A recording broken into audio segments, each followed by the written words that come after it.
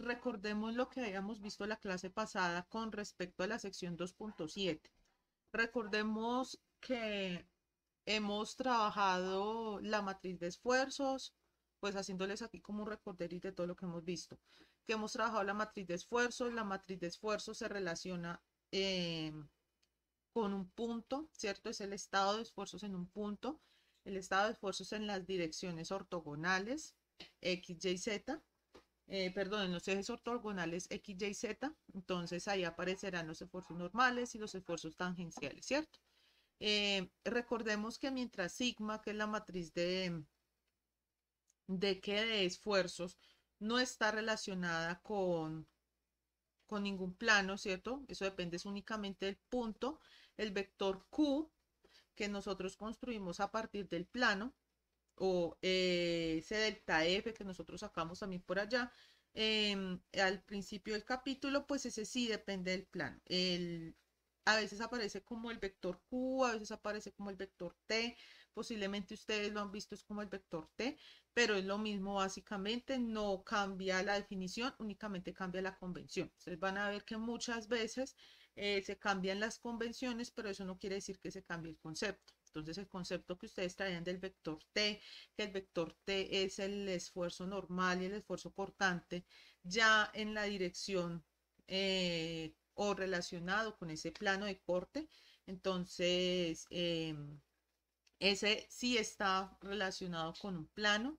No quiere decir que tenga la misma dirección. Recordemos que eh, eso fue lo que, una de las conclusiones a las que llegamos, que ese vector Q que estaba aquí, como ese resultado realmente de dos vectores, un vector que es paralelo al plano, un vector que es perpendicular al plano, pues entonces evidentemente ese vector Q no puede ser, no puede estar en la misma dirección de negorrito, ¿cierto? Porque negorrito es perpendicular al plano. Entonces sacábamos dos vectores, ese vector que era sigma n, em, que estaba relacionado con todo lo que eran los esfuerzos normales, que ese sí iba en la dirección de negorrito, eh, indica tracción y compresión, mientras que los esfuerzos paralelos al, plano eran todo lo que nosotros denominamos los esfuerzos tangenciales y eran todos los relacionados con el cortante. Entonces, eh, eso habíamos llegado, a esa conclusión habíamos llegado. Em, y entonces ahorita íbamos a ver cuáles eran las magnitudes de esos vectores, porque si bien ya más o menos sabemos en qué dirección van, eh, sabemos cómo están relacionados con Q, que realmente es una suma vectorial, pues realmente nosotros no sabemos cómo sacar las magnitudes de ese vector. Entonces, eso era lo que íbamos a hacer en la sección 2.7. Entonces, en la sección 2.7 vamos a calcular los esfuerzos normales y tangenciales. ¿Listo? Entonces, nosotros habíamos visto la clase pasada que nosotros podíamos hacer una proyección de un vector sobre otro. Entonces, esta construcción la hacíamos primero de forma geométrica, entonces con los conceptos de coseno, de seno. Recordemos que todos esos conceptos de seno, de coseno, eh, bueno, todos esos conceptos trigonométricos se aplican a triángulos, no se aplican a vectores realmente. Entonces, por eso es que nosotros primero trabajamos con las normas, eh, trabajamos con longitudes y posteriormente trabajamos ahí sí con el producto punto. Entonces nosotros recordando lo que hemos hecho en la clase pasada, eh, teníamos dos vectores R y S, no sabíamos cuál era la magnitud de uno, pero entonces eh, nosotros sabíamos que podíamos proyectar el vector S sobre el vector R, ¿cierto? Entonces lo que hacíamos era una proyección de manera ortogonal, ¿cierto? Entonces ahí procedíamos a construir un triángulo rectángulo. Recordemos que todas esas definiciones de seno y de coseno vienen de triángulos rectángulos. Entonces necesitamos un triángulo rectángulo para esa, para esa ocasión y entonces em, construíamos la definición de coseno, ¿cierto? Entonces eh, recordábamos que coseno es igual a la adyacente sobre hipotenusa, teniendo en cuenta que los vectores, eh, al ser tensores de primer orden, entonces tienen tres características que son muy importantes. Estas características son magnitud, dirección y sentido. Entonces íbamos a trabajar con las magnitudes. Entonces ese vector S tenía una magnitud eh, eh, em, S barritas y el vector R tenía una magnitud R barritas. Entonces deseamos que era adyacente sobre hipotenusa. Pero como esa proyección no se hacía en todo el vector R, entonces simplemente trabajamos con ese vector adyacente como lo llamábamos AD, ¿cierto? Y entonces de aquí despejamos que adyacente igual a coseno de teta eh, por la norma de S, ¿cierto? Esta es la norma del vector S, porque es así, ese vector S sí lo proyectábamos completamente. Por eso es que no trabajábamos con el vector, eh, con la norma de R, pero sí trabajábamos con toda la norma de S. Entonces ustedes por allá de su clase de física recordarán que ustedes definieron, o sus clases de, de qué, de, de álgebra lineal, cuando vieron vectores, pues ustedes recordarán que ustedes definieron el producto punto en función del producto de las normas y del coseno del ángulo que formaban estos dos vectores. Recordemos que estos dos vectores tienen que compartir el mismo origen para pues, poder hallar el ángulo, ¿cierto? Entonces nosotros hacíamos aquí un despeje, en despeje despejamos el producto punto, tan, tan, tan, tan, tan, y entonces llegamos a una conclusión, a esta conclusión que era eh, el cálculo de la proyección. Entonces, eh, en ese caso, ese cálculo de la proyección era un cálculo escalar, porque como podíamos ver, esto era eh, el producto punto, este R.S, que es producto punto, me da como resultado un escalar, y eh, la norma de R, pues me da como resultado también un escalar, ¿cierto? Entonces teníamos la proyección escalar, esta es muy importante, porque nos da la magnitud de este, de este lado, ¿cierto? Entonces ya sabemos cuánto vale ese adyacente. Pero entonces nosotros, como nosotros no estamos trabajando con, con triángulos, ¿cierto? Nosotros estamos trabajando es con vectores. Entonces lo que necesitábamos saber en ese punto era, bueno, cómo era la, la descripción total de ese vector, ¿cierto? Y un vector, ¿cómo lo describe? Con magnitud, dirección y sentido, ¿cierto? O sea, necesitamos la magnitud y la dirección. Y pues, evidentemente, el sentido, ¿cierto? Entonces, en ese caso, lo que hacíamos era colocarle la magnitud a un vector unitario. Recordemos que si yo tengo un vector R, el vector unitario va a tener la misma dirección. Lo único que va a cambiar es su magnitud, que va a ser una magnitud de 1, ¿cierto? Entonces, este vector unitario R, R gorrito era al que nosotros le asignamos esta magnitud de la proyección escalar, que era como la longitud de este lado. Entonces, aquí está la longitud de ese lado por la dirección R gorrito, que sería la misma dirección del vector R, ¿cierto? Entonces, aquí hacíamos una descomposición del vector unitario, que era el vector sobre su norma, y entonces aquí llegamos a la proyección escalar. Y entonces, esta proyección escalar es em, la magnitud de este vector y esta proyección vectorial es el vector descrito de manera completa, magnitud y dirección. ¿Listo? ¿Qué concepto vamos a usar nosotros ahora? Vamos a usar el concepto de proyección vectorial. Porque en última lo que vamos a hacer nosotros para hallar, vamos a, disculpen aquí, eh, borremos esto para que sea mejor. Em, en últimas, el concepto que nosotros vamos a usar acá es el concepto de proyección vectorial. Porque miren realmente, nos devolvemos acá, yo realmente puedo construir acá una proyección vectorial. Proyectar, puedo proyectar este vector sobre el n gorrito. Realmente puedo hacer esto. Eh, puedo hacer esto. Mm, ¿Dónde está el puntico? Puedo hacer esto, ¿cierto? Yo puedo hacer esto, realmente. Y puedo hallar este lado y puedo hallar este lado. Si hallo este lado, como este lado es igual a este, entonces puedo hallar también este lado en consecuencia, ¿cierto? Entonces, por eso es que necesitamos recordar el concepto de proyecciones, porque realmente lo que vamos a proceder es hacer una proyección vectorial. ¿Cuál es el concepto que realmente vamos a usar? Vamos a usar este concepto. Esto es una simplificación para que se puedan hacer las operaciones fácilmente. Pero realmente lo que vamos a usar es este, este concepto. O sea, este lo tienen que tener muy claro. Entonces ahora sí vamos a entrar al concepto de proyección vectorial aplicado pues a este tipo de, de qué, de, de, configuración. Entonces recordemos que el vector Q realmente está formado por dos vectores, ¿cierto? Entonces recordemos que realmente eh, este vector Q, como no está en dirección a n gorrito, podemos construirlo a través de la suma de dos vectores. ¿Cuáles serán los dos vectores? Serán el esfuerzo normal, ¿cierto? Recordemos que realmente estas son fuerzas, pero como esto está asociado a este delta, el delta de A, entonces podemos trabajar también con los esfuerzos, no hay problema con eso. Entonces resulta que está formado por el esfuerzo normal, el esfuerzo normal, el vector esfuerzo normal, que va en dirección de n gorrito, ¿cierto? Miren, en dirección de n gorrito.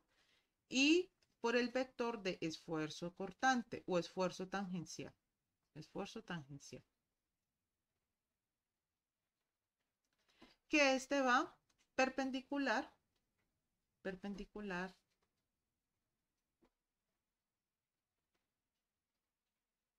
a n gorrito. Es decir, es paralelo al plano.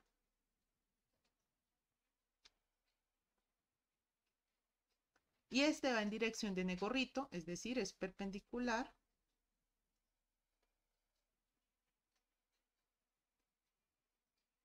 al plano. ¿Listo? ¿Por qué lo hacemos con respecto al plano? Porque el vector Q está construido por la existencia de este negorrito. Si no existiera ese negorrito, es decir, no existiera el plano, nosotros únicamente tendríamos la matriz de esfuerzos. Eso hay que tenerlo presente. Entonces, teniendo en cuenta que realmente esto es una suma de vectores, recuerden que los vectores en el libro se enuncian con letras en negrilla, letras minúsculas en negrilla. Entonces, esto realmente es un vector, esto, esto también es un vector, y eso también es un vector. Entonces, yo puedo hacer lo siguiente. Si yo tengo aquí a n gorrito y tengo a este sigma, ¿cierto? Entonces, realmente yo lo que puedo hacer es hacer la proyección de este vector sobre este vector en gorrito. Realmente. Y miren que aquí estoy formando el ángulo de 90 grados. ¿Por qué lo estoy formando? Porque miren que yo estoy construyendo aquí un vector que es paralelo a este. Y recuerden que este es paralelo al plano, o sea, perpendicular a n gorrito. Entonces, a este también será perpendicular a n gorrito.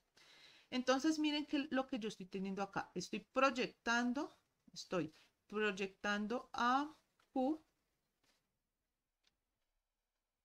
a Q sobre N gorrito, realmente, ¿cierto? Y recuerden que como ese N gorrito puede ser largo, ¿cierto? Entonces, lo que voy a hallar como resultado de esa proyección, recuerden que el lado adyacente, ah, mire, este es el ángulo, ¿cierto? Este es el ángulo teta.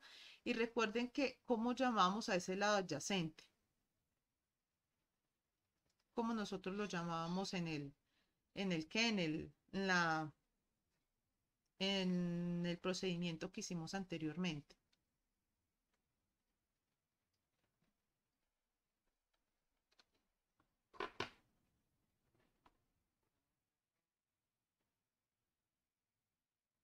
Eh, pero ¿qué nombre nosotros le colocamos a ese adyacente?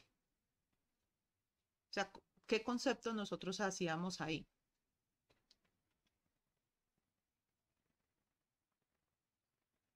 O sea, ¿qué fue lo que hallamos en últimas, en la, en la que, en la, en el cálculo pasado?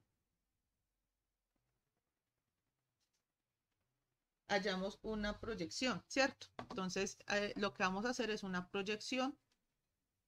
Mm, ¿Dónde está el puntico? Allá ya lo vi. Eh, vamos a hacer una proyección. Una proyección. Y a esa proyección la podemos llamar sigma n, ¿cierto? Una proyección vectorial. Entonces, lo que vamos a hallar es sigma n, ¿cierto? El esfuerzo normal medido como vector, ¿cierto? O sea que sigma n en últimas, ¿qué es? Sigma n es una proyección, ¿cierto? Es una proyección de este vector Q sobre el n gorrito. Entonces, es como si yo tuviese aquí mi vector R y aquí mi vector S, ¿cierto?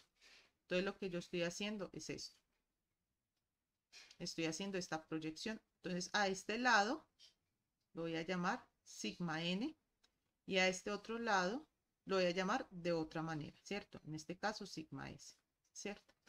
Entonces, vamos a hallar este lado sigma n, que es la proyección. Entonces, recordemos cómo era la fórmula. La fórmula era el vector pequeño ¿cierto? Que sería en nuestro caso S, producto R. Recordemos el concepto por acá atrás. El vector pequeño, producto R. Recuerden que el producto punto es, es que es conmutativo, producto punto. Entonces, por eso R.S es igual a S.R. Pero pues lo vamos a escribir igualito a la fórmula que habíamos calculado, como para no perderlo, ¿cierto? Entonces, R producto punto S sobre eh, la norma de R, que sería el, el qué, como el vector grande, ¿cierto? Miren, sobre lo que estoy haciendo la proyección por el R corrito. Ay, disculpe, por el, ah, el, por el R ¿cierto? Entonces, algo así tenemos parecido acá. ¿Cuál sería mi vector Q? Eh, mi vector Q, ¿cuál de estos dos vectores sería en este caso?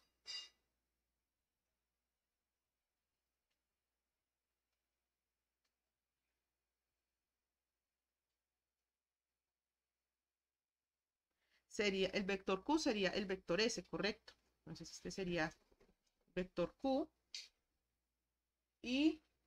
y este pues sería mi vector N gorrito, ¿cierto? Entonces reemplazamos en la fórmula.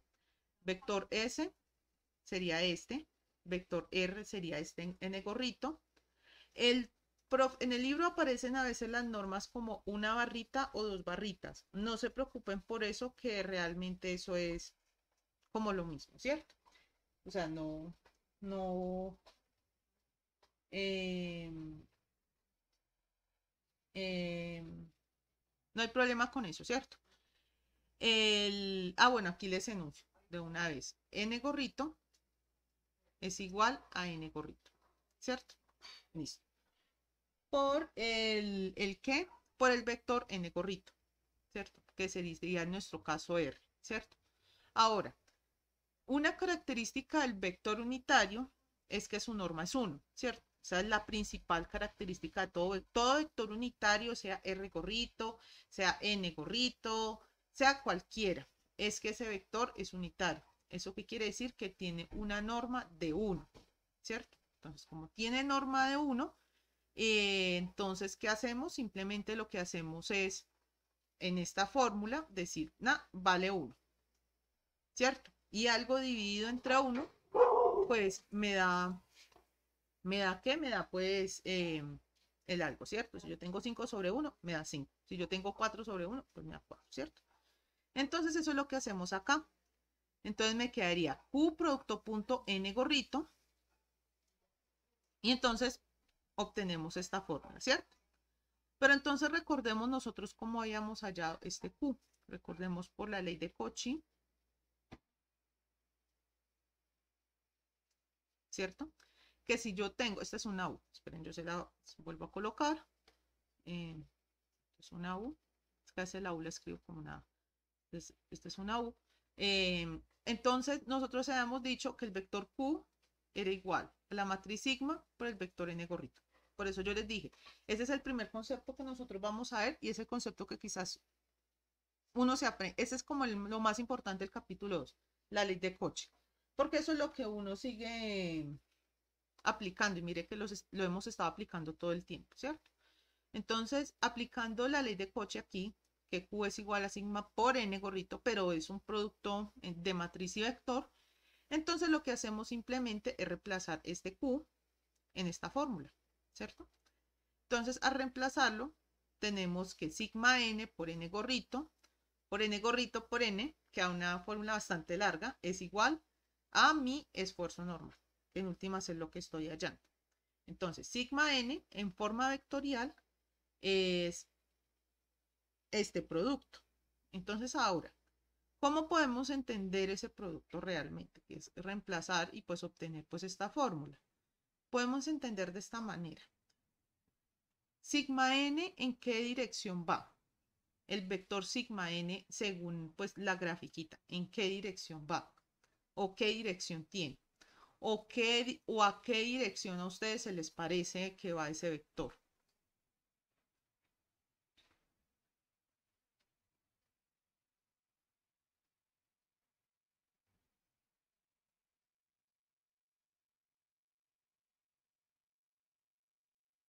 ese sigma n, ese esfuerzo normal, en qué dirección va.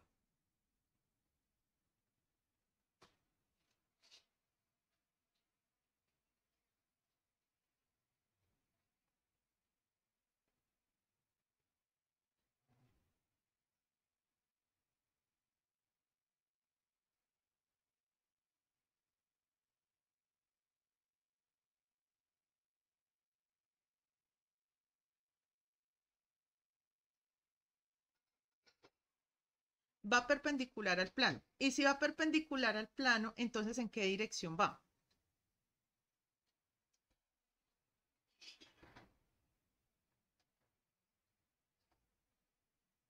Va en la dirección de Negorrito, ¿cierto? Entonces, miren que esta fórmula está compuesto realmente por dos partes que son muy importantes, que es la dirección, ¿cierto? Que es Negorrito, ¿cierto? Aquí dice, el esfuerzo normal va en la dirección de negorrito perpendicular al plano, ¿cierto? Entonces, dirección de negorrito y esta sería la magnitud. ¿Por qué sería la magnitud? Miren que esto, el resultado de sigma n por n gorrito va a ser un vector, ¿cierto? Y si yo hago un vector producto punto, otro vector, me va a dar como resultado un escalar. Eso quiere decir una magnitud. Entonces, cuando nosotros queremos, a, nosotros nos pregunten cuál es la magnitud del esfuerzo escalar, lo que realmente tenemos que usar es este pedacito de fórmula. Y si nos están preguntando cuál es el vector de esfuerzo normal, nosotros ya empezamos a, ¿a qué? A, a, a emplear pues esta fórmula completa, ¿cierto? Entonces, la magnitud, lo que les comentaba ahorita, la magnitud del esfuerzo normal, que es lo que nosotros más tarde vamos a calcular, pues es este, esta magnitud, ¿cierto? Que es lo que yo les contaba. La fórmula está compuesta por dos cosas, magnitud y dirección, ¿cierto? Como todo vector, vector, todo vector tiene la magnitud y la dirección. En este caso, la dirección va a ser la misma dirección de n gorrito. Entonces, en este caso, el esfuerzo normal va a quedar representado como la magnitud más eh, producto, la dirección, ¿cierto? Esta fórmula es muy importante, ¿cierto? Listo. Hasta ahí todo está claro, ¿cierto? ¿Alguna duda?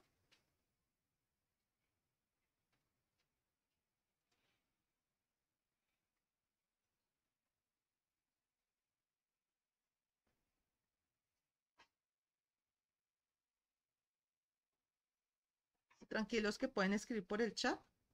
¿Sí? ¿No tienen ninguna duda? Si tienen alguna duda, la pueden preguntar o pueden escribir por el chat. Listo. Bueno, entonces recordemos, listo, ya tenemos el esfuerzo normal, o sea que tenemos 2 de 3. ¿Por qué les digo que tenemos 2 de 3? Miren que aquí nosotros teníamos el vector Q, ¿cierto? Vector Q. Entonces nosotros decíamos, bueno, ese vector Q está formado realmente por dos vectores, ¿cierto? Vector que iba por acá, que también va por acá, y un vector que va así, ¿cierto? Este vector nosotros lo llamamos el esfuerzo normal y este vector nosotros lo llamamos el esfuerzo cortante. Ah, eh, esa res, em, este sigma n, ¿cierto? Em, aquí el moradito. Entonces miren que nosotros ya tenemos Q. ¿Quién nos da Q? Nos lo da la ley de Cauchy, ¿cierto? La ley de Cauchy. ¿Cierto? ¿Quién nos da sigma n? Ah, pues esta es la proyección, ¿cierto? Y pues, ¿cómo calculamos esto? No, pues acordémonos que esto es una suma realmente vectorial, ¿cierto? Este vector eh, Q es la suma de dos vectores, del, esfuerzo normal y el tangencial, ¿cierto? Entonces vamos a, a, aplicar eso para nosotros poder hallar el sigma S, ¿cierto? Entonces, Recordemos que Q es igual a la suma de dos vectores, el esfuerzo normal y el esfuerzo tangencial. Ustedes van a ver que todo el tiempo yo se lo voy a ir repitiendo porque esa es la, esa y la ley de Cauchy son los conceptos más importantes de este capítulo 2. No es tanto, bueno, que ustedes sepan pasar de una base a otra porque realmente eso es un concepto matemático. Aquí el concepto físico realmente importante es esta ley de Cauchy es este vector Q y que ese vector Q es el resultado de la suma de dos vectores, un vector normal al plano y un vector paralelo al plano. ¿Listo? Entonces, ¿qué hacemos acá? Pues si yo necesito despejar este cortante, pues ¿qué hago? Pues paso este a restar, ¿cierto? Entonces, paso sigma, e, sigma n a restar y me queda pues este, ¿cierto? Resto dos vectores, no hay ningún problema. Entonces, lo que hago es reemplazar el valor de estos vectores. ¿Por qué? Porque muchas veces yo no voy a tener Q. Generalmente cuando yo tengo este tipo de problemas, yo voy a tener únicamente dos datos. Voy a tener la matriz sigma, la matriz sigma, y voy a tener el vector unitario.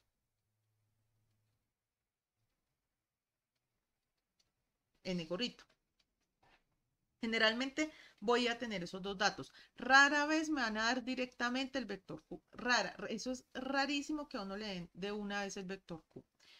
Entonces, como es raro que uno le den el vector Q, entonces uno puede proceder de dos formas. O calcula el vector Q, después calcula E, sigma S, bueno, calcula todo eso, o directamente se va con las dos fórmulas, ¿cierto? Entonces, en este caso, eh, vamos a reemplazar esta, el sigma n, que lo calculamos a través de la proyección, lo calculamos hace 20, 20 minuticos. Y Q, que esta sería la ley de Cauchy, ¿cierto? La ley de Cauchy, ¿cierto? Entonces, al reemplazar estos dos elementos en la fórmula cortante, pues voy a obtener esto. Entonces, Recuerden por allá de vectorial que si yo tenía un vector n gorrito común, entonces er, podíamos convertir esto de esta manera. ¿Por qué lo podemos convertir de esta manera?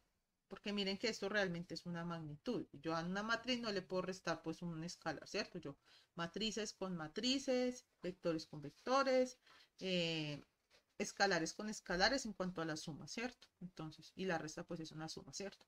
Entonces, em, es una suma con signo contrario. Entonces, lo que hago es multiplicarla por la matriz identidad y esto no me va a alterar en nada el resultado que yo tengo acá.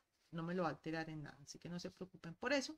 Entonces, en últimas, pues yo tengo ya aquí la fórmula de, de cortante, ¿cierto? Entonces, miren que Únicamente aplicando la proyección y la suma de vectores, yo obtuve dos datos que son muy importantes. El esfuerzo normal y el esfuerzo cortante. Ya vamos a ver cómo se aplica este concepto. Listo, ya, ya muy, muy pronto lo vamos a ver. Entonces, eh, ¿cómo hallamos las magnitudes o las normas? Esto de las normas lo podemos ver como las magnitudes. Las magnitudes lo podemos ver más como las magnitudes de los esfuerzos normales y tangenciales o normales y cortantes. Entonces, este ya lo habíamos hallado al principio. Y este es aplicando la suma de vectores, ¿cierto? Entonces, recordemos cómo era que eh, yo aplicaba el triángulo de, o la ley de Pitágoras, ¿cierto? Triángulo de Pitágoras ahí, teorema de Pitágoras. Entonces, que yo tengo aquí un vector Q y tengo aquí un lado y otro lado, ¿cierto? Estos lados perpendiculares, ¿cierto? Que este lado era el vector n y que este lado era el vector s, ¿cierto? Entonces, viendo esto como triángulos, pues ¿cuál será la norma de este? Será la norma de Q, este será la norma de S, de N, y este será la norma de S, ¿cierto? Las magnitudes, pues, de ese vector, ¿cierto?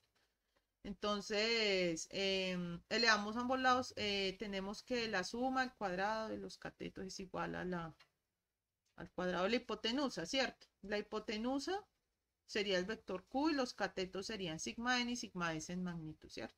Entonces, este es el, el teorema de Pitágoras.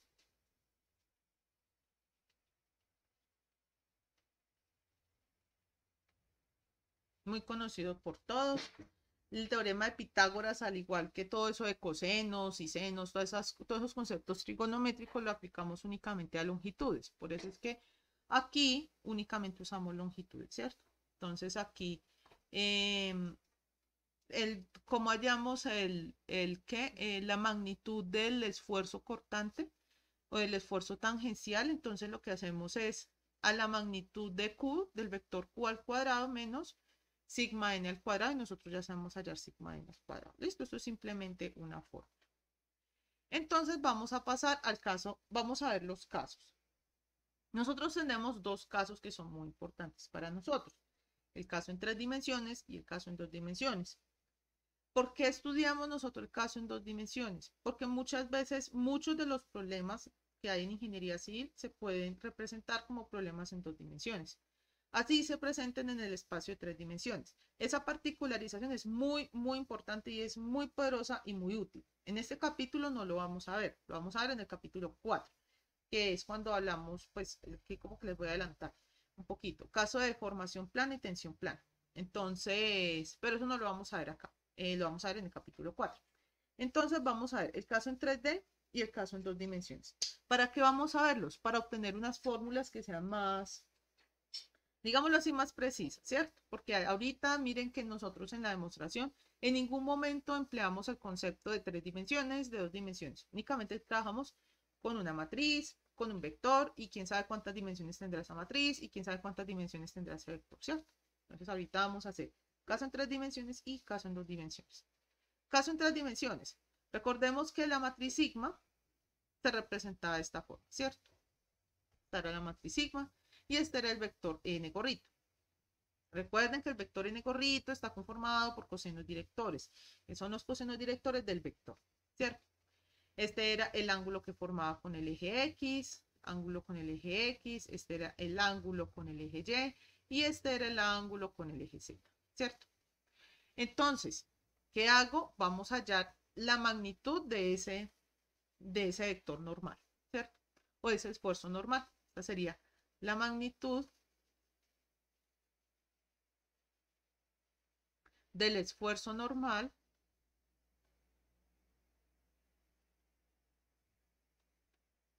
en tres dimensiones, ¿cierto? Entonces, será sigma por n gorrito, producto n gorrito. Entonces, sigma n gorrito, producto punto n gorrito.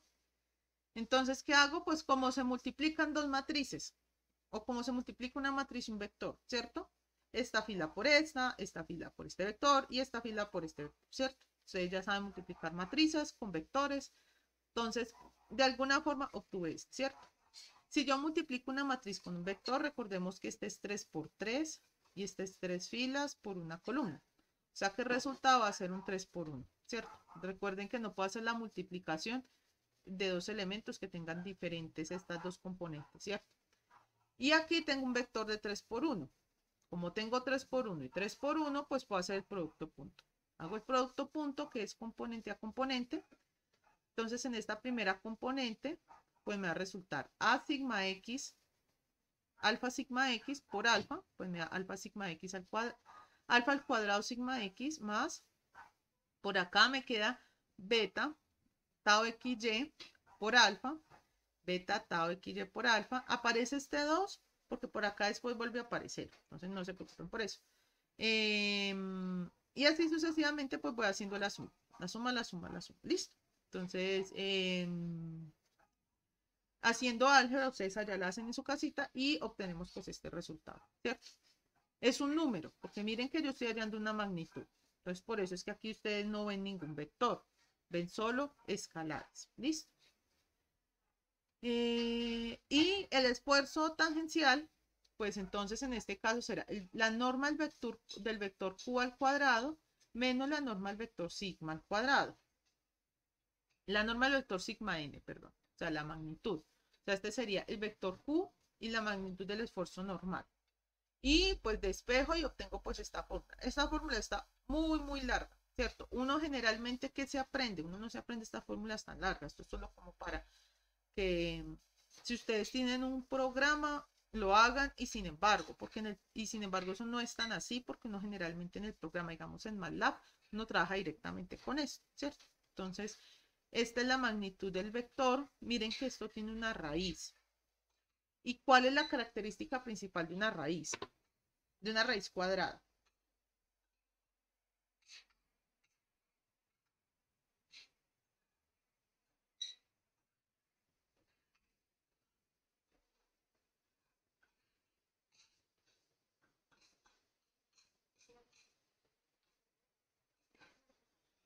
Mm, eh, eso es cierto. Cuando estamos hablando de magnitudes o de longitudes, no hay longitud negativa, ¿cierto?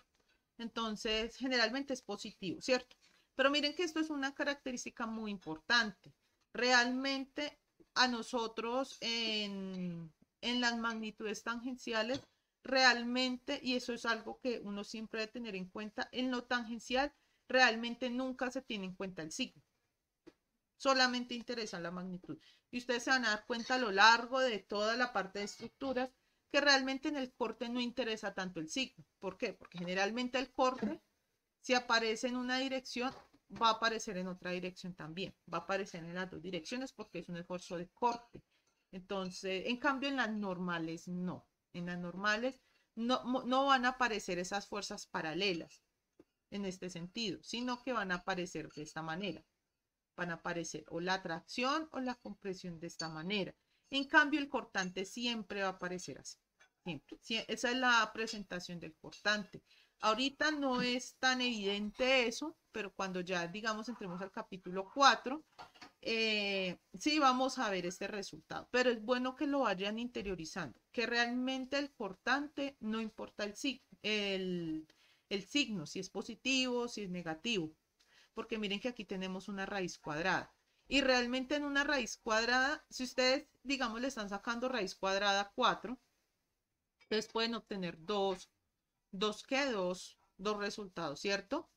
Más 2 por más 2, ¿cierto? Que esto da igual a 4, o menos 2 por menos 2, que esto realmente es igual a 4, ¿cierto? Entonces, por eso es que ustedes generalmente la magnitud, ustedes generalmente la trabajan en valor absoluto, la magnitud del esfuerzo tangencial, porque realmente eh, como tenemos esa raíz, tenemos, digámoslo así, la posibilidad de tener esos dos resultados. Eso, ninguno de esos dos resultados está mal, está malo, pero realmente a nosotros nos interesa únicamente la magnitud. ¿Listo?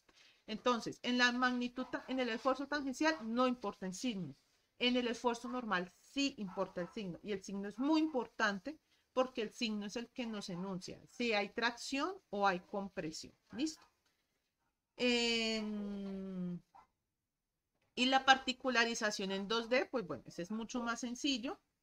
Pues aquí el, cogemos el resultado en tres dimensiones y ¿qué hago? Hago así, a todo lo que tenga que ver con el eje Z igual a 0. Sigma Z igual a 0, tau XZ igual a 0, tau YZ es igual a 0. Y a gamma igual a 1. ¿Por qué hago a gamma igual a 1? Porque realmente el plano, eh, como, yo voy a estar trabajando es en un solo plano, aquí voy a dejar el plano un poquito distinto, pero es para solamente para efectos de la explicación, es que yo haya cambiado el sistema de coordenadas, pero es para explicarles. Cuando ustedes trabajan en dos dimensiones, ustedes trabajan generalmente en el plano XY, ¿cierto? O sea que no tiene ninguna relación con el eje Z. ¿Eso qué quiere decir? Que como ustedes solamente se están moviendo en este plano, realmente su plano nunca se está inclinando con respecto al eje Z. O sea, no están resultando después con un eje por acá torcido, por acá un Y' y por acá un X' que forma un ángulo con el eje Z. No, ustedes nunca van a tener en ese caso, eh, ese caso en el, en, en el caso 2D, ¿cierto? Ustedes únicamente van a trabajar en el eje X y en el eje Y.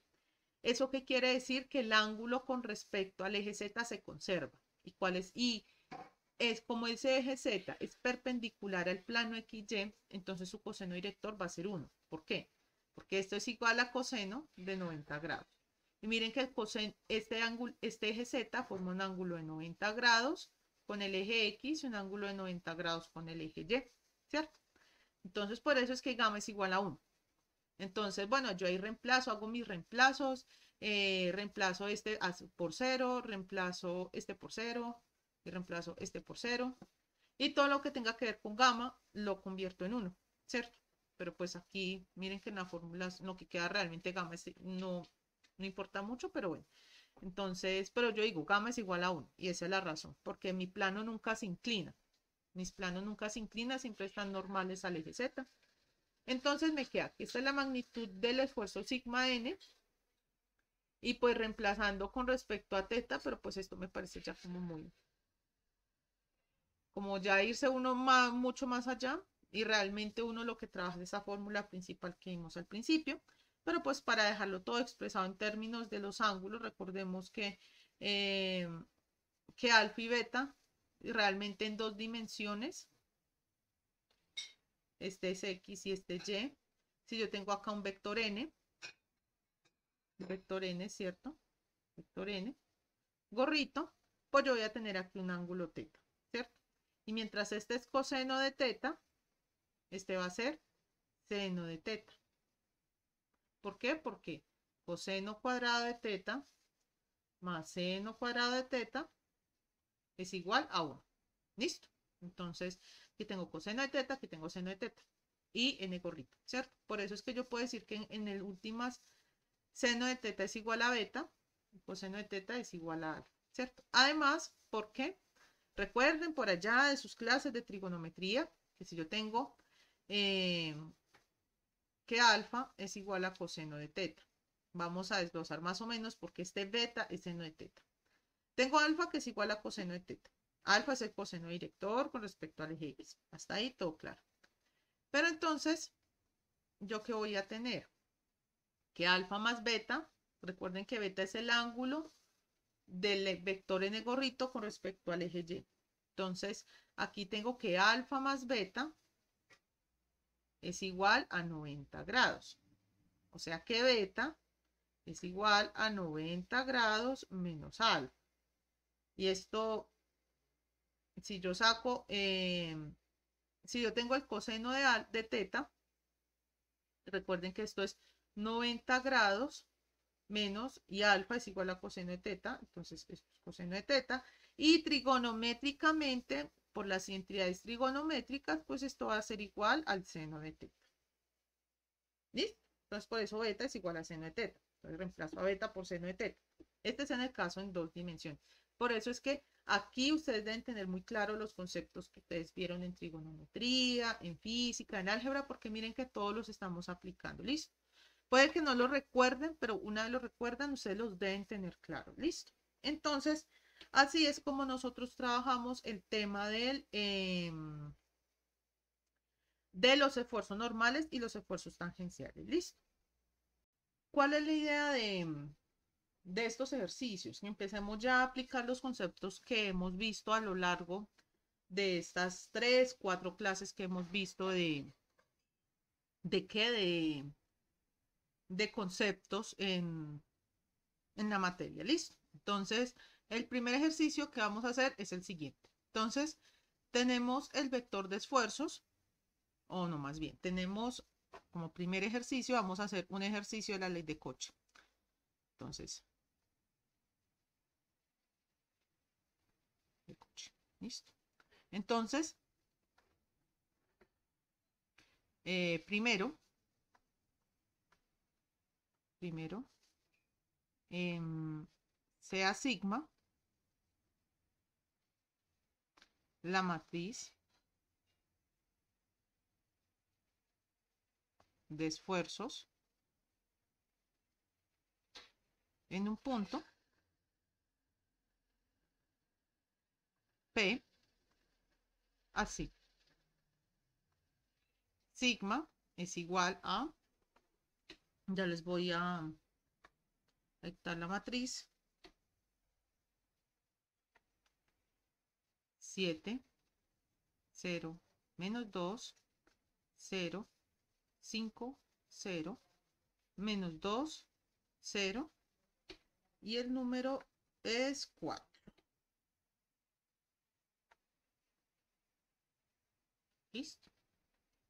Entonces, hallar el vector Q Em, hallar el vector Q em, en el plano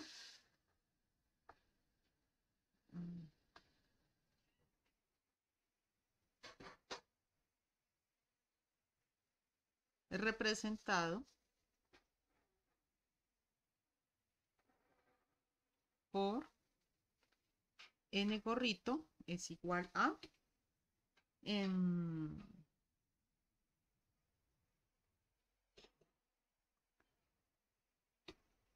dos coma dos coma uno.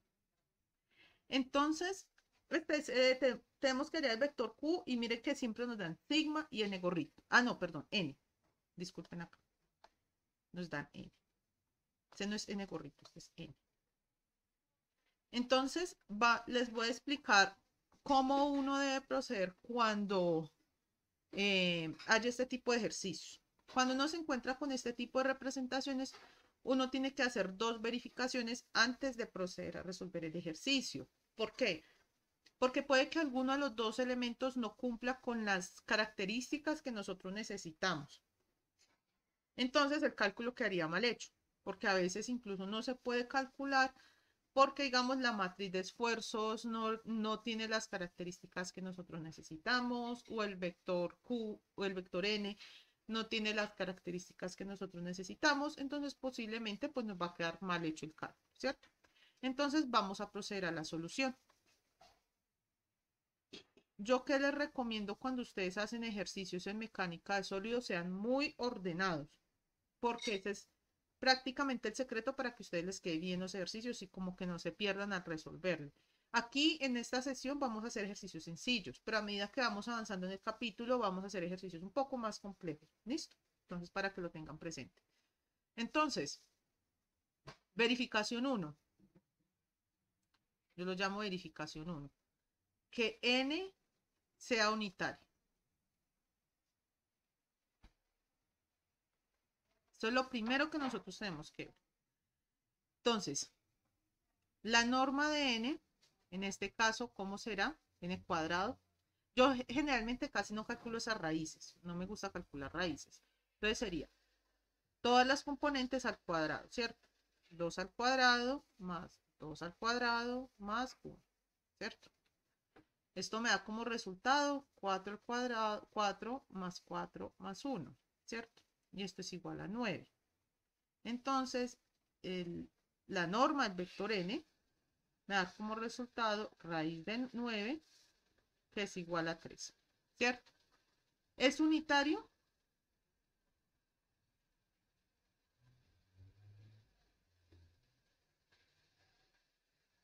El vector es unitario, ese vector no es unitario, ¿cierto? Entonces, no es unitario.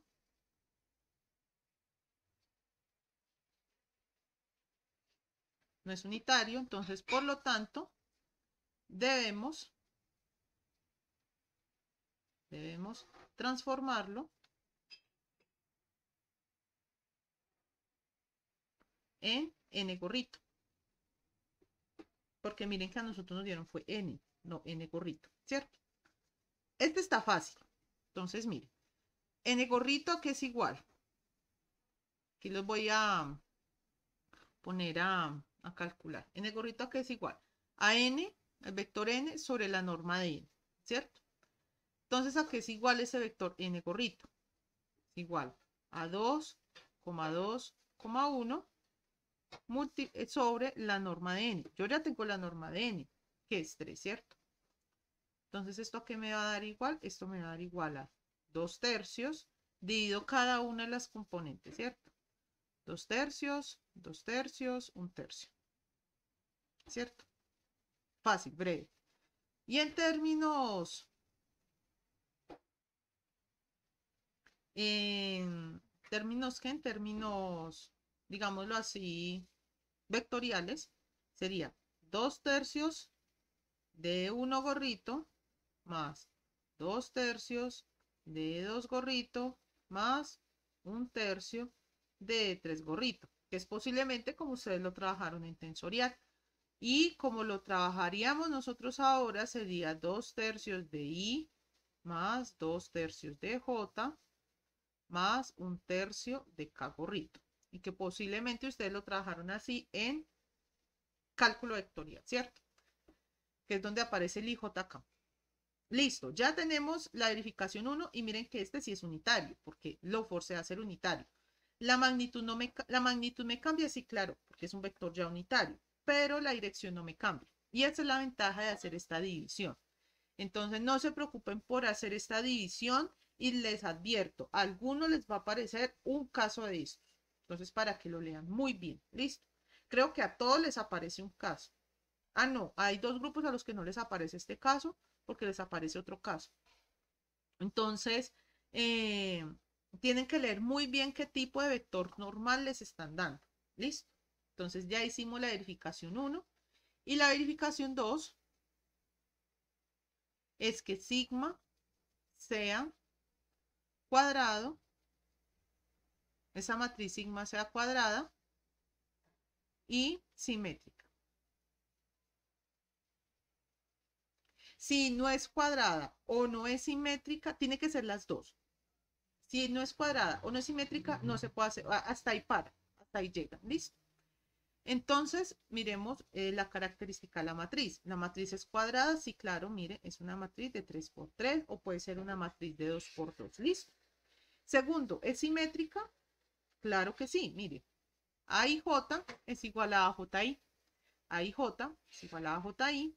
A y J es igual a JI. Es simétrica y cuadrada, cumple.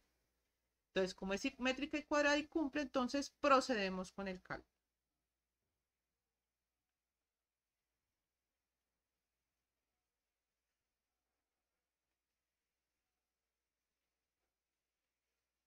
Entonces, miren que tenemos el vector n gorrito y la matriz sigma. Entonces, aplicamos la ley de Cauchy.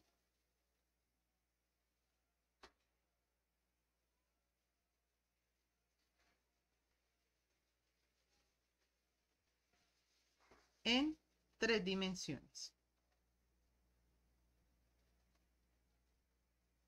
Entonces sería sigma es igual a, no, aquí no. Q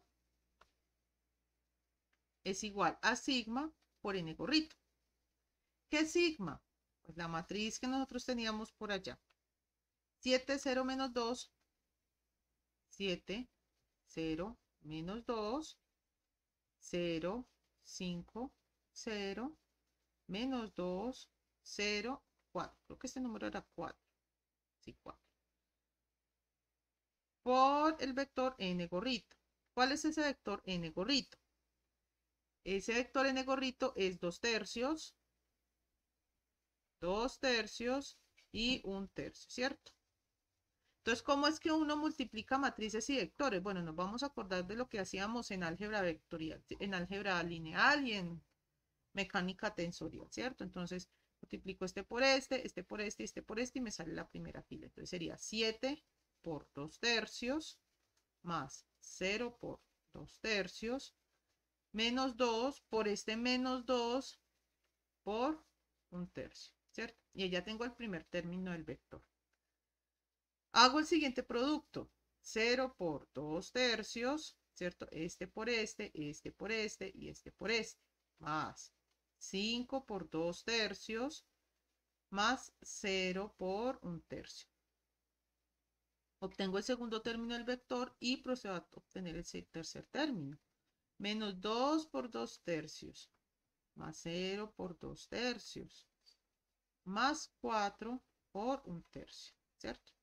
Entonces vamos a, a multiplicar acá. Entonces 7 por 2, 14 tercios. Más 0. Menos 2 tercios. ¿Cierto? Eh, Em, si hay algún error de cálculo, por favor, me lo, me lo hacen saber. Listo. 0 más 5 por 2, 10 tercios. Más 0 por 1 tercio, 0. ¿Cierto? Y em, menos 4 tercios. Más 0. Más 4 tercios. Bueno, es que es sencillito este vector. Este es igual a 14 tercios menos 2 tercios me da 12 tercios, 10 tercios, 0. Menos 4 tercios más 4 tercios se van, ¿cierto? Y esto es igual a 12 sobre 3, 4, ¿cierto? 10 sobre 3, 10 tercios y 0. ¿Listo? Entonces, por lo tanto,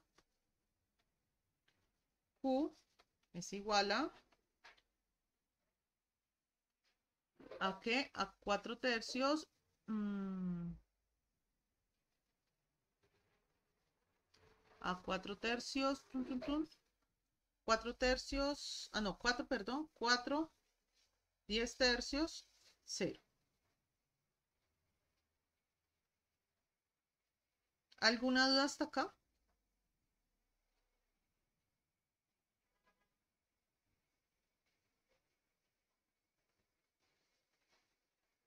No, listo. Fácil, ¿cierto? Fácil y sencillo. Entonces, les voy a recordar cómo fue que dice este producto, que pase este, multiplique este vector con este vector en producto punto. Y me dio como resultado este. Multiplico este vector por este vector, me da este vector. Y multiplico este vector por este vector y me da este resultado. Listo. Hasta ahí todo claro. Listo. Fácil el ejercicio, sencillo. Ahora vamos a proceder a hacer otro ejercicio. Ese otro ejercicio pues tiene otras cositas. En ese ejercicio vamos a usar el, el que el resultado anterior que obtuvimos de t y vamos a hacer lo siguiente. Entonces, como yo lo había, como lo había nombrado? 1. Entonces lo vamos a nombrar como 2. Entonces, 2. Teniendo en cuenta el resultado anterior,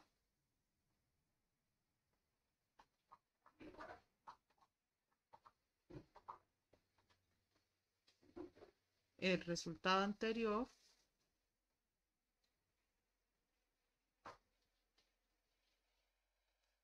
calcular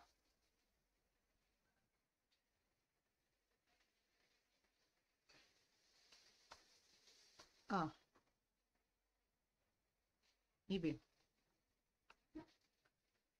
Eh, magnitud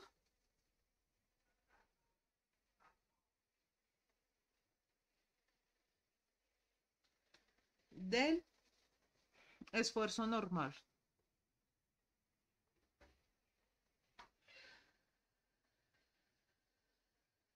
Listo. Vamos a aplicar lo que vimos hoy.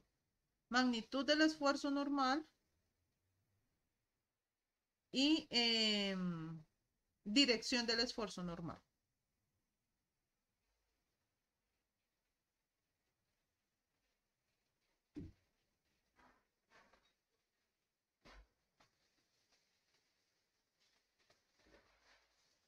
Y agreguemos un tercer punto, que es magnitud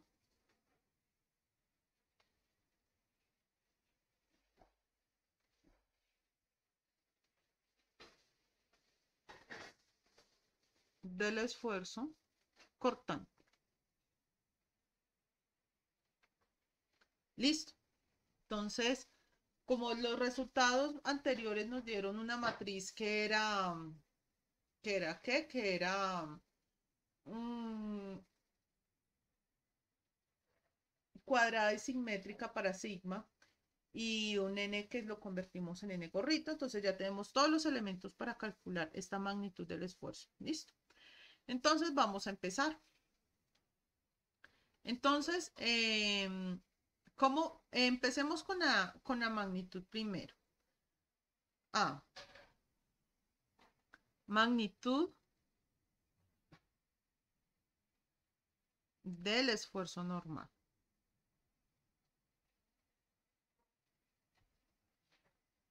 Entonces, que podríamos hacer es lo siguiente. ¿Cómo nosotros haríamos a sigma n en la magnitud del esfuerzo normal? A ver si nos acordamos acá.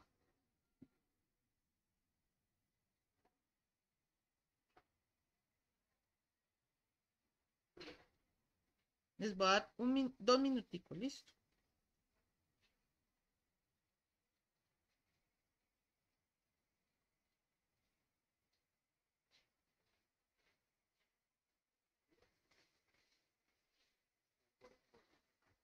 Será Q en producto punto N gorrito, ¿cierto?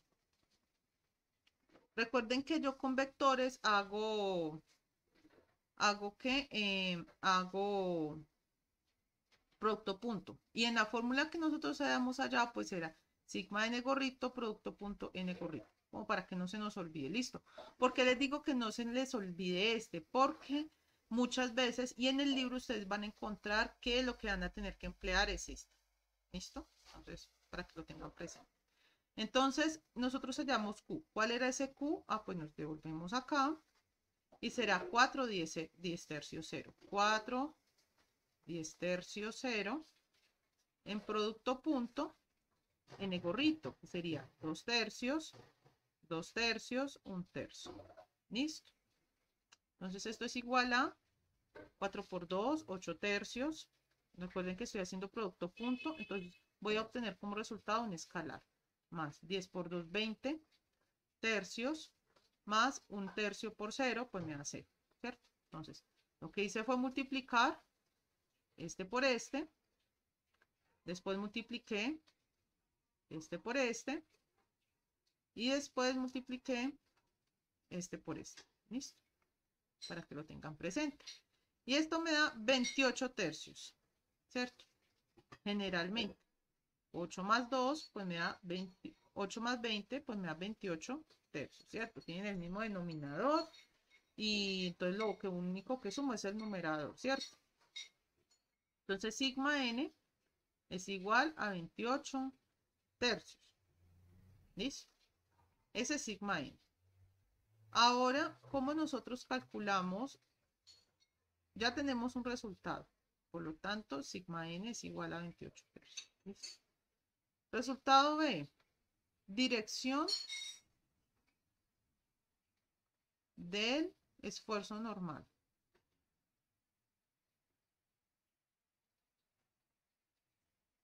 Entonces, recuerden que el esfuerzo normal, ese vector sigma n, sigma n, era igual a sigma n en la dirección de n gorrito, ¿cierto? O sea que en teoría sería 28 tercios de n gorrito. Pero es que resulta que a nosotros eso no nos sirve. ¿Por qué no nos sirve eso? Porque realmente lo que nosotros vamos a tener es lo siguiente. Nosotros tendríamos un vector n, pero nosotros no sabíamos en qué sistema está, Si está en el sistema cartesiano, si está en el sistema polar, no sabemos en qué sistema está. Nosotros debemos expresar todos nuestros vectores en el sistema cartesiano a menos de que nos indiquen lo contrario. Entonces, ¿esto qué implica? Pues no, que toca multiplicar este 28 tercios por la representación de negorrito. Este negorrito, ¿cuál será?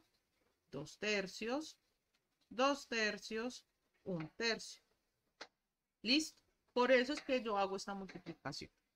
Entonces, 28 por 2, eso generalmente me da como 56 tercios, ¿cierto? 56 novenos, ¿cierto?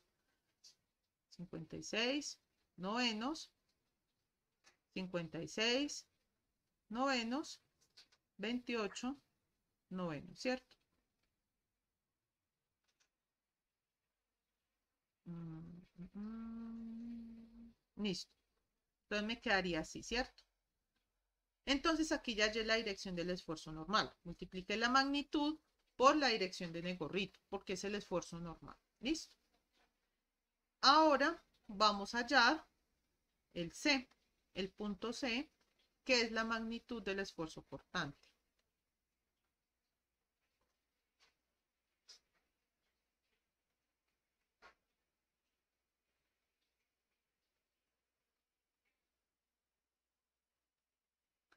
Y recuerden nosotros como habíamos dicho que era esa magnitud. Si no nos acordamos, pues hacemos un triangulito. Teníamos el vector barrita. Teníamos vector normal al plano, que era sigma n sigma n, y tenemos otro vector que es sigma s, ¿cierto? Entonces teníamos que sigma s al cuadrado más sigma n más sigma n al cuadrado es igual a q al cuadrado. ¿cierto? Entonces, lo que hacemos es lo siguiente. Entonces, en este caso será sigma s al cuadrado es igual a q al cuadrado menos sigma n al cuadrado. Entonces nosotros ya tenemos sigma n. Esta sería la magnitud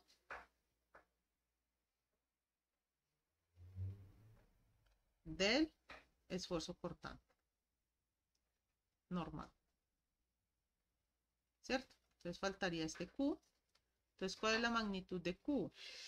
Entonces, recuerden que Q nosotros lo teníamos enunciado de la siguiente forma. Mm, de la siguiente forma.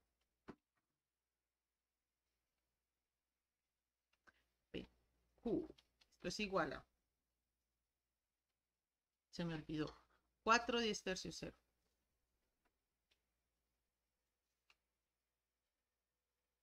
Ah, esperen, entonces, esperen, yo me devuelvo. Ay, sí, aquí la embarré. Qué culpa, qué pena. Esto es 20 novenos, ya se me olvidó multiplicar fracciones. Entonces, 20 novenos, ¿cierto? Em, entonces, ¿cuánto me da 8 tercios más 20 novenos?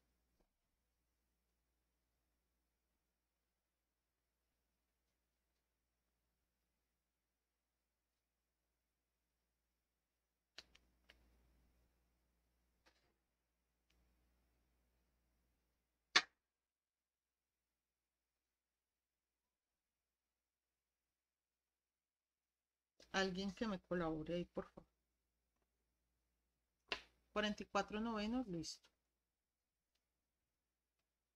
44 novenos. Esto me da 44 novenos. Listo. Entonces este, pues nos va a tocar corregir este.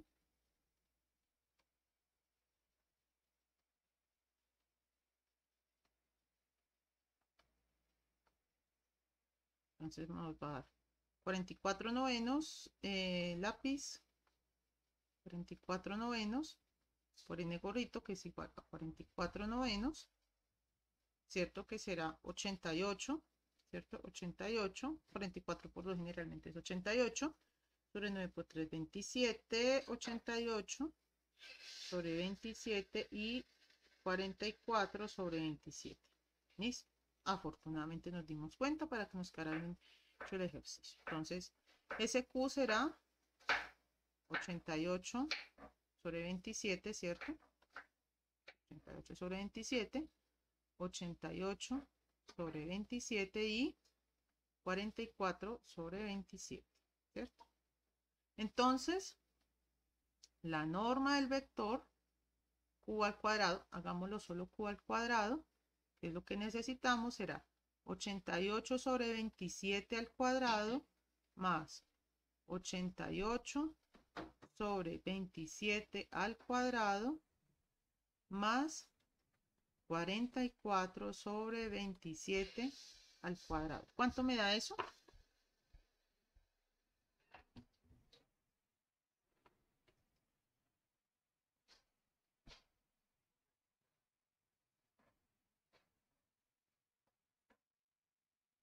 ¿Cuál Q? Este.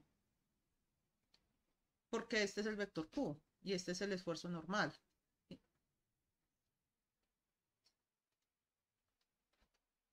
88 sobre 27.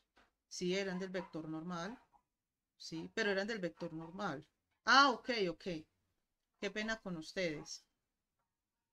Esperen, esperen. Esperen, yo borro acá. Sí, sí, qué pena con ustedes, ando medio.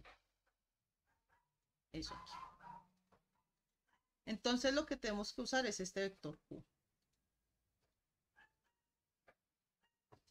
Entonces sería 4, 10, 10 tercios 0, ¿cierto?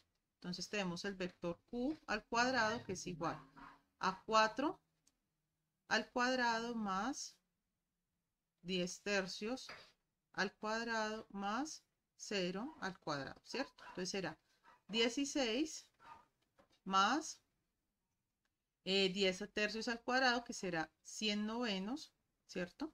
Generalmente, más 0, ¿cierto? Entonces esto es igual. A 16 más 100 novenos, ¿cuánto me da eso?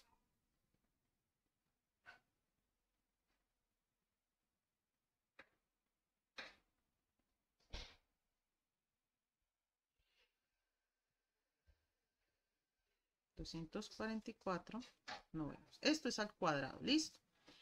Y entonces, ¿cuál sería sigma n al cuadrado? Entonces, sigma n al cuadrado es igual a este 44 novenos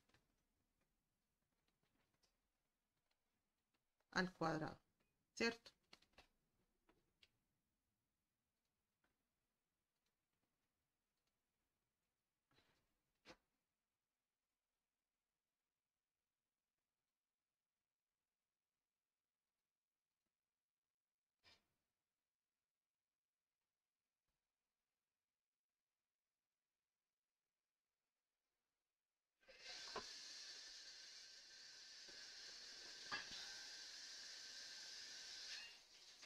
¿1936 sobre 81, ¿cierto? Entonces, mi, ¿qué? Espérate, se me olvidó el número. 1936 sobre 81. Y eso más o menos en números 1936 sobre 81. Eso en decimales, más o menos, ¿cuánto me da? Más o menos. Con dos decimales está bien, para no manejar un montón de decimales ahí.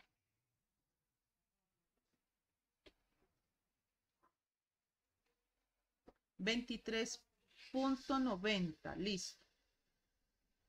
Listo, 23.90. ¿Y cuánto me da 244 novenos?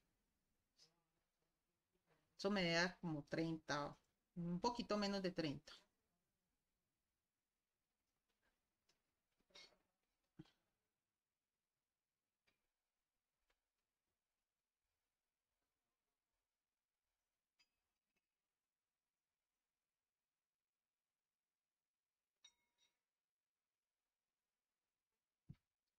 Ah, bueno, sí, 27.11 aproximadamente, ¿cierto? Todo esto es, cuando ustedes tengan unos decimales, no le pongan este igual, que este igual como que termina esa actitud, ¿cierto? Ustedes le ponen son como estas cositas, que es aproximadamente igual, ¿listo? O equivalente a. Entonces procedemos a reemplazar en la fórmula. Entonces, reemplazando,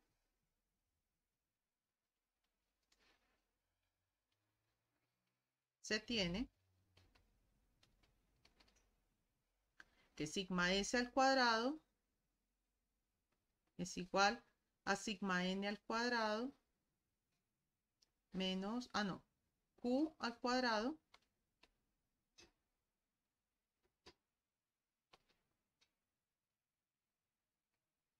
menos sigma n al cuadrado, que es igual a q al cuadrado es igual vamos a decir que es aproximadamente igual a 27.11 menos 23.9. ¿Cuánto me da esa resta?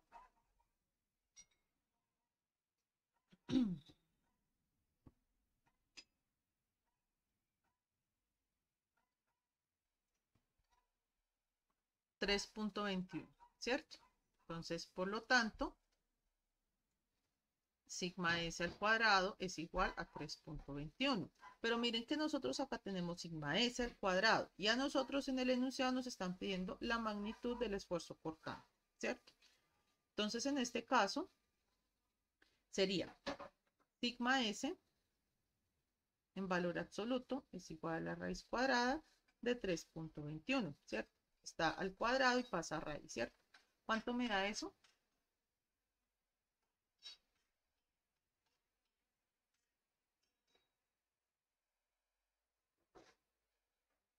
1.79.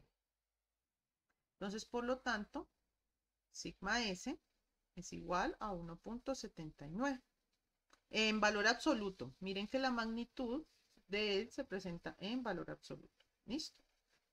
Y entonces aquí desarrollamos un ejercicio que es parecido a lo que ustedes se van a encontrar posiblemente en el taller. ¿Listo? Mm. Entonces vamos a hacer un ejercicio parecido, pero se va a cambiar únicamente en la forma en que vamos a obtener a n gorrito. Entonces, mm, sea P, sea sigma, sigma, se asigna la matriz, ah, no, el estado de esfuerzos, el estado de esfuerzos, sigma es igual a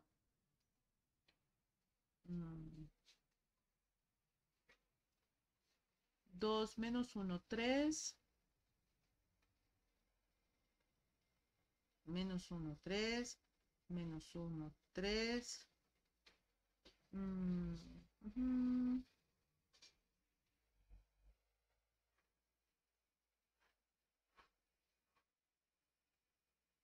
Menos 1, ¿cierto? De 3 por 3, simétrica. Entonces, hallar. Hallar. el vector de esfuerzos, allá Q. ¿Qué pasa?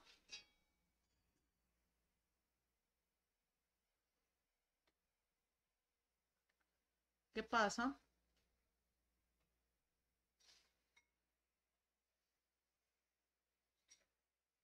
Oh, no, más bien, ¿qué pasa? No. hallar Q. En donde el gorrito es perpendicular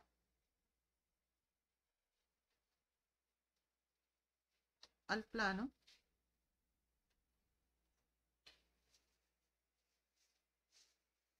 al plano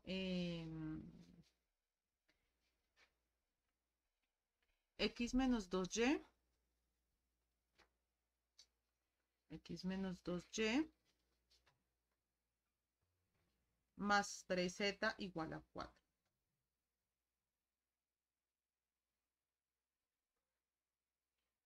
Igual a 4. Listo. Este es un ejercicio que es muy trabajable, entonces les voy a indicar cómo es que lo pueden resolver. Entonces, en este caso, la solución.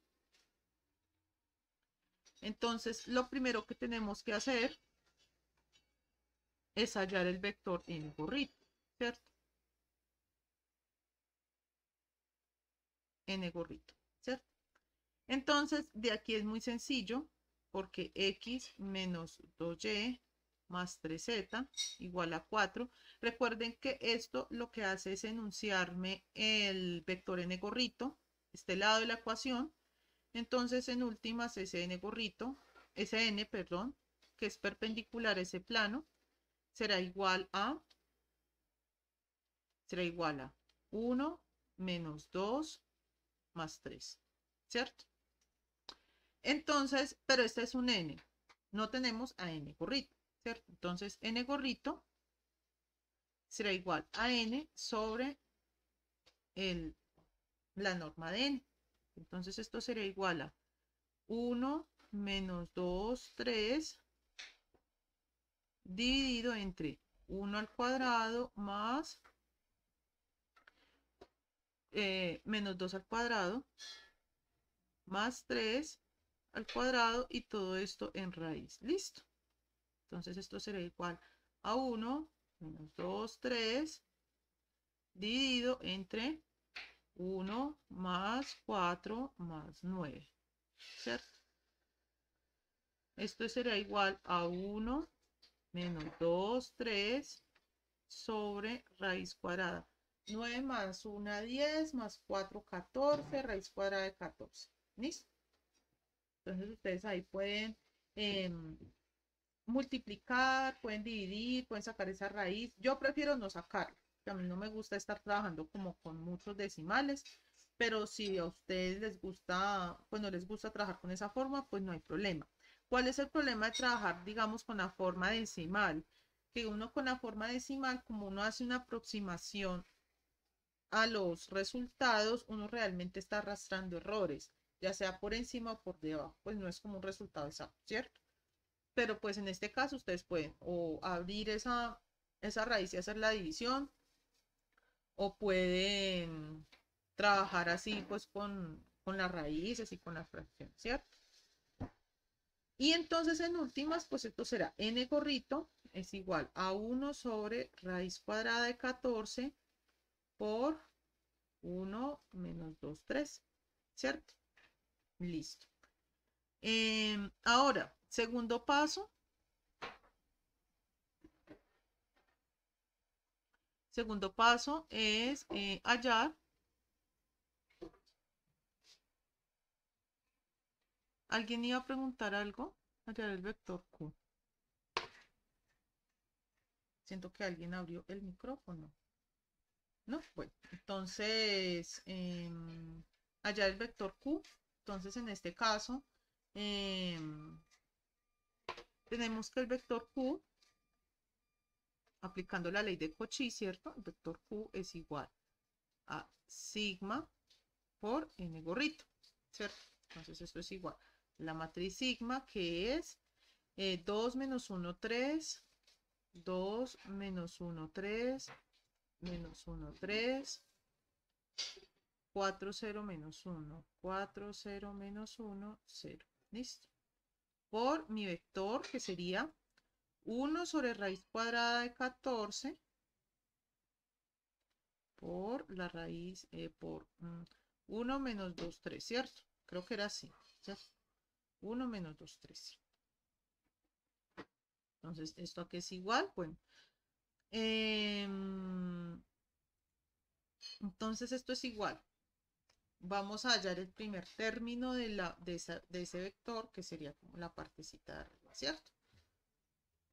Ah, esto es en producto, punto. Ah, no, esto es en producto, perdón. Entonces, eh, sería 2 por 1 sobre raíz cuadrada de 14 me, más, ah no, más, sí, más, menos 1 por menos 2 sobre raíz cuadrada de 14. Recuerden que cuando yo tengo un escalar por fuera de un vector, este escalar multiplica todos los términos del vector, ¿listo? Más 3 por 3 sobre raíz cuadrada de 14, ¿listo? Segundo término. Segundo término. Entonces, este segundo término, pues será esta segunda fila por este vector, ¿cierto? Entonces será menos 1 por 1 sobre raíz cuadrada de 14 más 4 por menos 2 sobre raíz cuadrada de 14 más 0 por 3 sobre raíz cuadrada de 14. ¿Listo?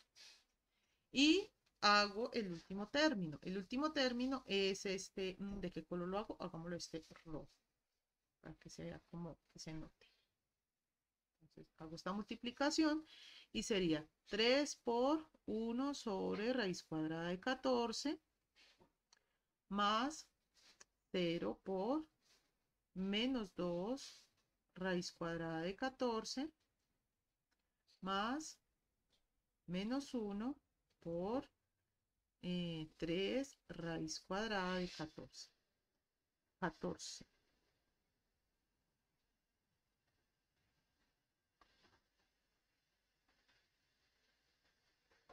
Listo. Y aquí cierro el paréntesis de, o los corchetes cuadrados de mis paréntesis cuadrados del, del vector. Entonces, eh, será 2 por 1, este 2 será, no hay me como para un ladito, para que nos alcance el espacio. Esto es igual a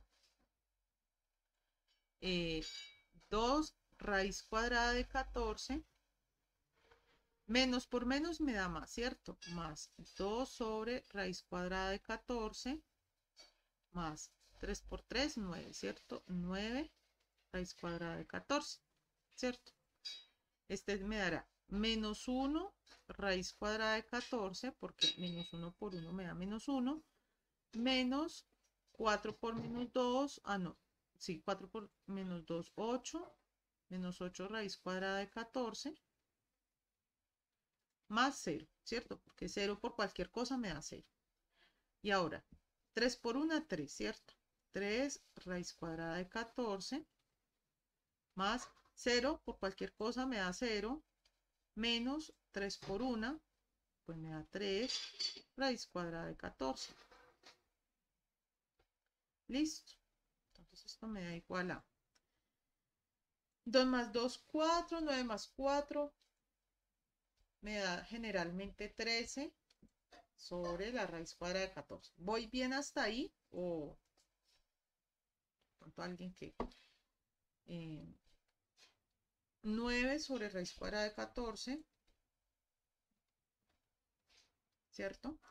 Y 3 y menos 3, pues este con este se paga, ¿cierto? Generalmente, y me da 0, ¿cierto? Entonces, por lo tanto, Q es igual a 13 raíz cuadrada de 14, 9 sobre raíz cuadrada de 14 y 0. ¿Listo? Este es el resultado que nosotros hallamos.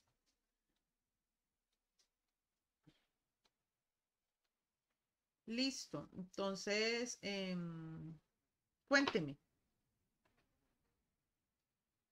Ah, sí, menos 9, menos 9. Que no sé, uno va haciendo aquí operaciones. Le dando sí. Menos 9. Listo. Muchas gracias por avisar. Entonces, este sería el segundo ejercicio.